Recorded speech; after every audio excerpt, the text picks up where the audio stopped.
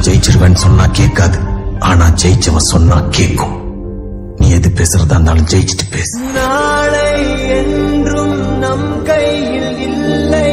நாம் யாவும் தேவன் கை சரணடைஞ்சிரு. கடைசியா சொல்றேன். நாள் முழுக்க இதை செய்ய தயார் பொம்மைகளே